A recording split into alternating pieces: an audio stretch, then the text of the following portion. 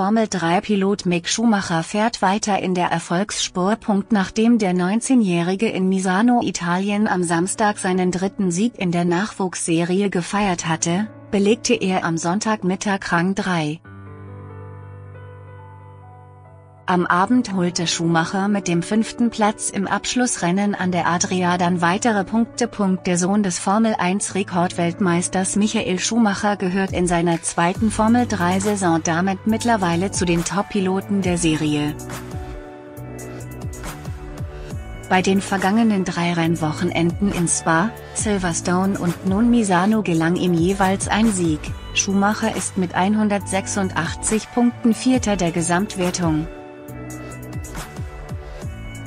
In Führung liegt nach zwei Dritteln der Saison der Brite Daniel Ticktum, Motopark-222. Das Potenzial war immer schon da, wir konnten es anfangs jedoch nicht zusammenbekommen, sagte Schumacher, aber seit Spa-Francorchamps läuft es recht gut, und ich freue mich, dass ich nun auch in den Rennen zeigen kann, was ich kann. Am Samstag dominierte er das 19 Punkt von 30 Saisonrennen von der Pole Position und ließ seinen Kontrahenten zu keiner Zeit eine Chance.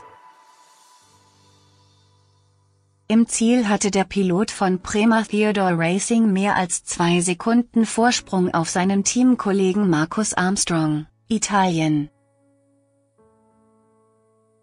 Der Russe Robert Schwarzmann machte den Dreifacherfolg für Bremer perfekt. Am Sonntagmittag verbesserte sich Schumacher bei Nieselregen von Startplatz 6 um drei Positionen, nur der Meisterschaftszweite Juri Vips, Motopark, aus Estland und der Spanier Alex Palou, Hittech, waren besser.